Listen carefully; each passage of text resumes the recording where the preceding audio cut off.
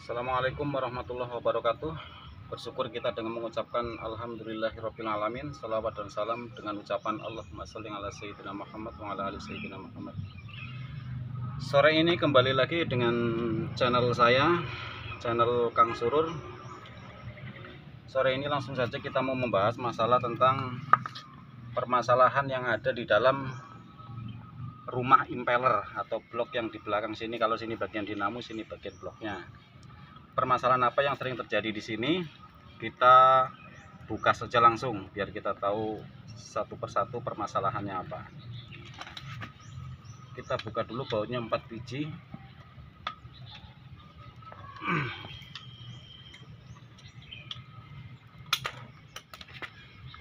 Kita lentangin aja biar gampang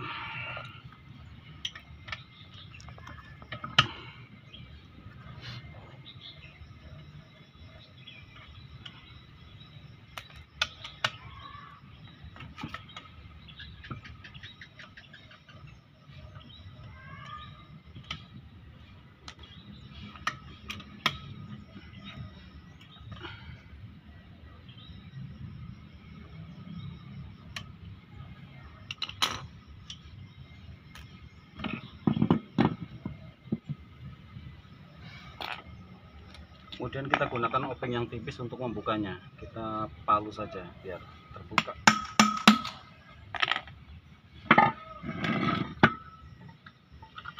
Ini dalamannya seperti ini. Nanti kita akan coba ulas satu persatu apa permasalahan yang sering ada di sini. Kita buka dulu dispuster ini. Nanti kita nanti saya terangkan satu persatu. Cara membukanya begini congkel bagian mepet sini jangan ambil tengah jangan ambil sini mepet dengan yang ada eh, yang nempel di blok. Perlahan-lahan ini bisa pecah.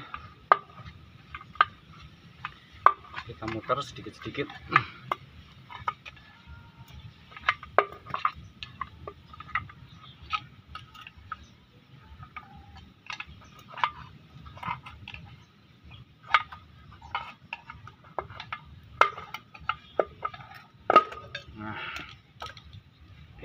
isinya bolong seperti ini. Nah ini bagian bawahnya ini bagian atas. Isinya bolong seperti ini.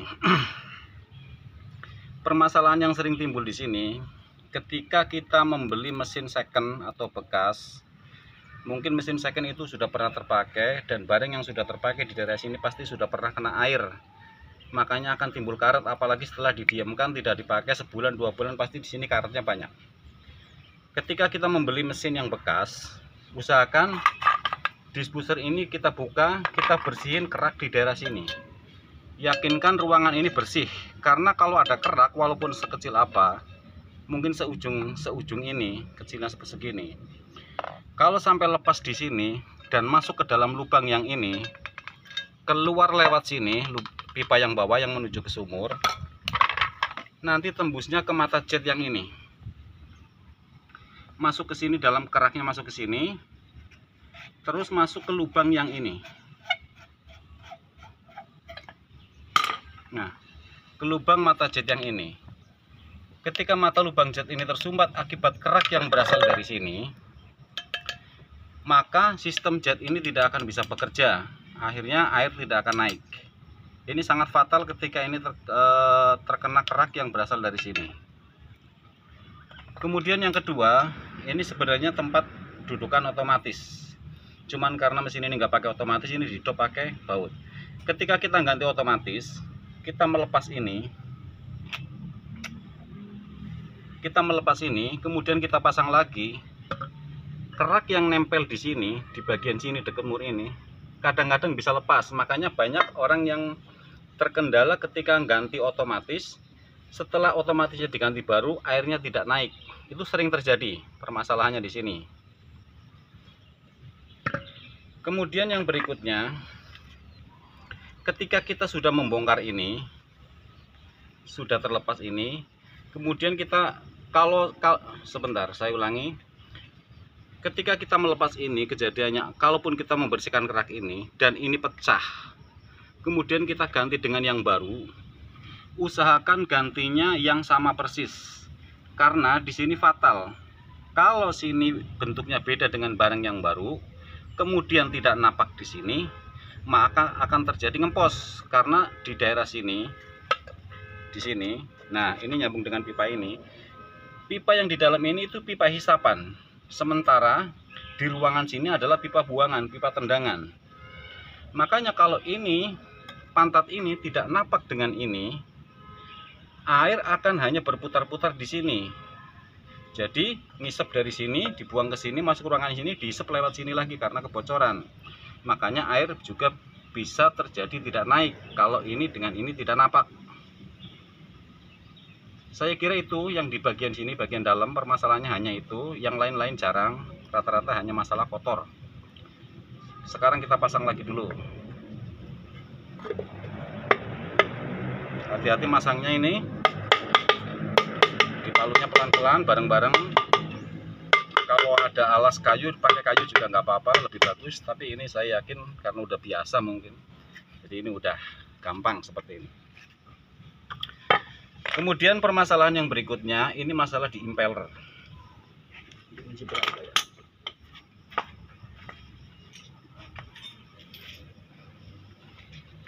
Permasalahan di impeller ini nanti akan saya lepas dulu impellernya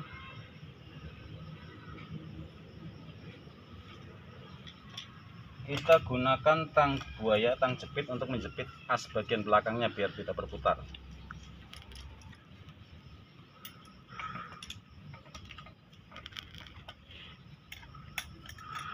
Nah kita tahan biar tidak berputar kita buka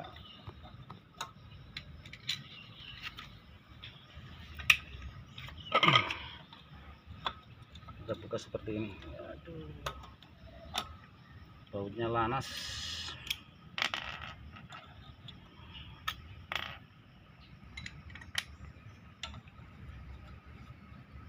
Kita buka. Kita singkir dulu ini yang ini.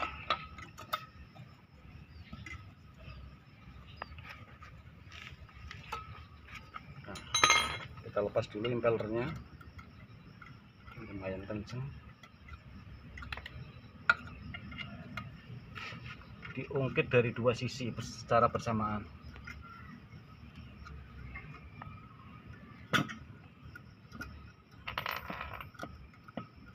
Ada yang susah ada yang gampang. Tapi ini termasuk susah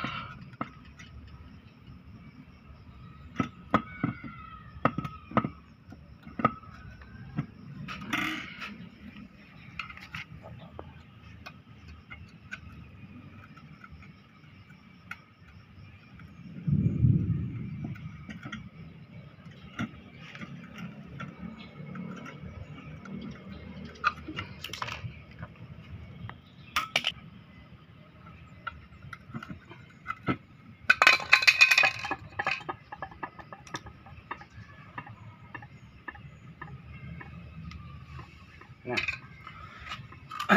permasalahan berikutnya, kipas impeller ini kan biasanya patah, rusak atau apa. Kemudian kita mengganti dengan yang baru. Kalau kita ganti yang baru, usahakan tipenya, bentuknya, atau ukurannya sama persis. Baik dari pantat belakangnya sini atau kepalanya ini, diameternya sama, panjang ininya sama, sehingga ketika kita masukkan ke sini, kepala ini ketemu dengan ini, ini akan ngeplek akan napak. Nah seperti ini napak. Kalau penggantiannya kepala ininya agak pendek terkadang ada yang yang bentuk-bentuk impeller ini dari suku cadang itu ada yang bentuknya lebih pendek ada yang ada kepanjangan sedikit ada yang lebih kecil. Itu macam-macam maka usahakan sama. Kalau kita gantinya terlalu pendek nanti kepala ini tidak napak dengan sini Akibatnya tarikannya kurang sempurna karena lubang ini lubang tarikan. Ketika ini tidak mepet, tarikannya tidak sempurna. Sementara di sini banyak air dari tekanan buang yang yang keluaran dari sini. Makanya air akan kembali lagi ke sini, diisep lagi, akhirnya tarikannya kurang. Itu permasalahannya. Makanya kalau ganti usahakan ini sama, ini sama. Jadi pada saat dipasang ini akan apa ke sini napak tapi tidak nyenggol hampir nyenggol harus mepet tapi tidak boleh bersentuhan. Kemudian permasalahan yang berikutnya di daerah sini di sini ada seal mekanik seal. Mekanik seal ini jarang bermasalah pada pompa air jet pump pada pompa air sumur dalam itu jarang banget masalah. Selama tidak bocor tidak tembus ke sini pada saat hidup tidak ada yang nyemprot dari daerah sini seal ini tidak ada masalah beda halnya dengan pompa sumur dangkal. Ketika per ini sudah tidak maksimal atau keramik yang di dalam sini sudah tidak maksimal nempelnya akan terjadi kevakuman pada pompa sumur dangkal. Itu akan terjadi ngempos tapi pada pompa Jepang seperti ini tidak akan terjadi ngempos. Selama ini tidak bocor tidak ada masalah. Saya kira hanya itu permasalahannya di daerah hmm, pompa air sumur dalam ini di daerah di bagian kipas impellernya Oh ya kemudian di sini juga kadang-kadang terjadi sumbatan. Terjadi sumbatan di daerah sini. Usahakan di daerah sini bersih jangan sampai alur yang dari sini yang tembus ke sini itu tersumbat oleh kotoran baik pasir kah kerikil-kerikil kecil kah atau apa. Kalau memang ada kotoran di sini dibersihkan. Karena kalau di sini tersumbat tidak bisa keluar dari sini tarikannya pun akan bermasalah. Oke saya kira itu aja. Nanti yang terakhir di video ini nanti akan saya eh, peragakan seperti apa sih mesin pompa air sumur dalam yang masih eh, yang masih bagus tarikannya. Nanti kita praktekkan. Habis ini saya rakit videonya saya cut dulu. Nanti pada saat mau uji coba nanti saya lanjutkan lagi oke ya dilanjut ke ini udah saya rakit tadi udah selesai. Saya saya rasa merakitnya semuanya bisa saya anggap semuanya bisa. Karena tadi pelepasannya udah saya liatin tinggal dibalikin tinggal pasang kemula ini saya pasang sok dulu. Biar nanti nggak nyembur-nyembur. Kemudian yang bagian bawah ini kalau untuk uji coba jet pump mesin ini bagus enggak atau tarikannya bagus atau tidak ini tutup saya udah siapin dop kita tutup ini. Nggak usah dilem nggak apa-apa nggak ada tekanan. Habis itu kita pancing. Kita tutup bagian sini pakai tangan. Seperti ini kemudian kita pancing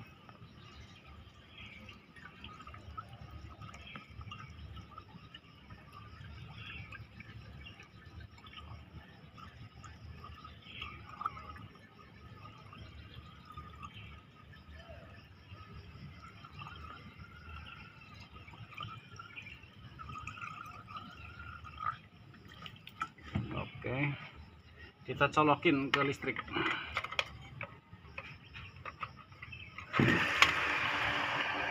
Seperti ini. Nah ini tarikannya saking kuatnya nih. Mesinnya sampai ke bawah.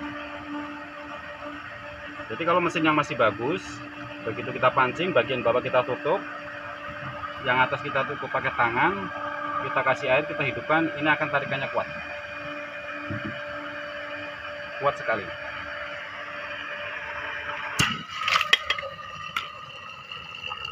saya kira itu aja ya tutorial kali ini. Permasalahan di daerah impeller. Nanti kalau ada yang masih ditanya masih ditanyakan silahkan tanyakan di kolom komentar.